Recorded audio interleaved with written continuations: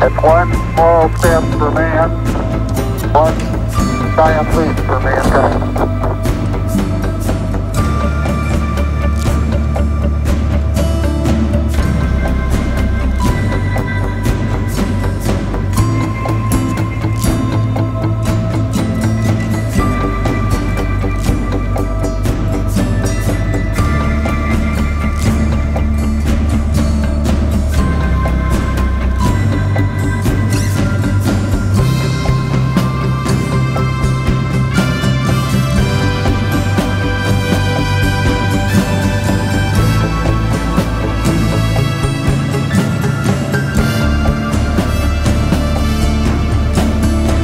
Here we got about, uh, I'd say 20 pounds of uh, carefully selected, just not documented samples.